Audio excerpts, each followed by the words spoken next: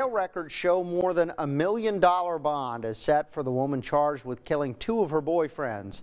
Police say Janice Frazier is facing a separate murder charge for the shooting death of 29-year-old Emaine Anderson Jr.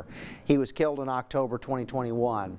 Frazier was already in custody for the death of 34-year-old Christopher Holden. Police say his body was dumped at a Baton Rouge park and Frazier faces second-degree murder charges.